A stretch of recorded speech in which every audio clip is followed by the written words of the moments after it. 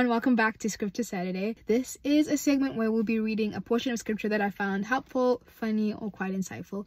And today is kind of helpful, insightful day. So let's get into it. If you're wondering why I'm in the car for this episode, it's because my family members are doing the most today. um, so this is the only quiet place I could find for this today. Um, if you like me, this week has been a lot. I'm trying to grow in my patience. I didn't realize it was, a, it was a lesson that I needed to learn, but clearly Holy Spirit's like. So today's scripture is from Psalm 20, from verse 7. And if you like me, when you have one of those weeks, those testing, trying, everything's a lot week. You know what I mean? And sometimes it lines up with certain cycles. And sometimes it doesn't line up with certain cycles. And it's just be a lot of a week. And I'm just like, I mm-mm. you know? And it's just very difficult for me to to get in the word for me. I'm still learning and I'm growing and I'm I'm getting better, hopefully, by the by the grace of God. Um where i'm like you know i need to get in the word. I need to pray. I need to commune with god because that's a relationship that i do value. Um and he means so much to me and i mean a lot to him. So i kind of owe it to him. He i mean he died he died for me. Guys i i mean it's the least i can do at this point you know what i mean like he died for me so it's the least i can do is be like hey what's up let's let's hang out for a little bit Anyway, so in those moments where the week has been weaking and I don't really like I don't I don't want to do it. Um the Lord's very kind. He is very kind with me. Um most times. today he fetched my my entire life. He fetched my entire life today. Um and if you if you want context go read Psalm 95 cuz girl. Oh guy, I don't know who's watching. And so anyway so in his kindness he does bring about scriptures whether i'm like scrolling through a feed or like whatever like scriptures kind of come up and one of the scriptures that i'd seen and i'd forgotten who the uh, content creator was had posted something from psalm 20 but from verse 4 but what stuck out to me is verse 7 and it says some find their strength in their weapons and wisdom but my miracle deliverance can never be won by men. Our boast is in the Lord our God who makes us strong and gives us victory. Why that verse stood out for me? Again there's areas of our lives where some areas are really great and some areas are not. And i sometimes wonder and again you know it might just be a me thing but i don't think it's just a me thing. Where why it takes so much spiritual discipline to get um not just spiritual discipline but like practices and yieldedness and all the things to get doors open to have access to certain things or you know just different different things and having blessings or having i don't know. You know what i mean? Just i don't know what that might look like for you. I know what it looks like for me specifically.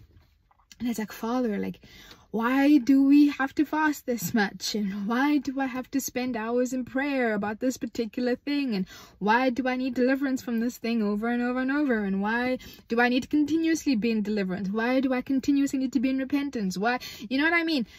And it almost seems like oh my word like it's just one thing after another after another it's like the little things that just like pile up and you're like okay I need to pray and fast for this, you know. Um, I'm noticing this is happening and I need to pray and fast for this. And there's a delay in this area and it's been habitual and a bit generational. And we need to pray and fast for that. And it's like, whoo, why? anyway, and so this, this scripture kind of gave me context. It's like some find their strength in their weapons and wisdom. But my miracle deliverance can never be won by men you know it's I, I say that i want a god story in everything you know i want a god love story i want a god story in my career i want a god story in my finances i want a god story in in, in owning a house one day i want a god story for my kids one day like i just want a god story i want god's name all over it you know what i mean? Like i want jesus to be like yes in everything i want every part of my life to scream out his name. When that is my heart's desire when that's a request i brought before the lord that means every other part of me needs to lessen so that he can increase, right? I think that John says that. And so and in verse 7 it says, But my miracle deliverance can never be won by men. My boast, our boast, is in the Lord our God, who makes us strong and gives us victory. And so ultimately, that means that it needs to come from God. My victory, my deliverance, all of this, all the things I'm asking for, need to come from Him. And it's a little bit more trickier because I keep putting my fingers in all of it. I keep putting my fingers in all of it, in all, in all of it. And then God's like, well, that's not mine then. If you are all, and I'm like, oh, okay. So anyway, I feel like the scripture sign is going to be long. I just found the scripture a lot more helpful for me just to get perspective on why things um might be a little bit more challenging for me I mean, someone else would be like, well, this is easy compared to you. And someone else might be, this is really challenging.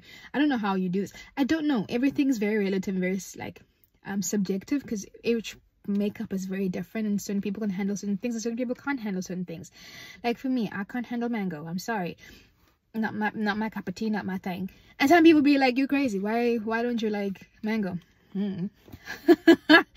um but you know what i mean? That's a very like trivial very small thing. But that's something that i just can't do you know? And so while i'm processing what i can and cannot do it's been very helpful to know that if i want a god story if i want god to take the glory out of my life if he wants if i want his name all over every aspect of my life I firstly have to make sure that I take my fingers out of that pie.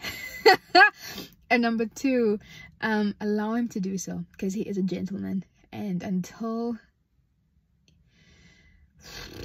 until I I surrender, it's gonna be difficult for me. So yeah. I hope it's been encouraging. So let me know what your thoughts are on the scripture, Psalm 20, verse 7.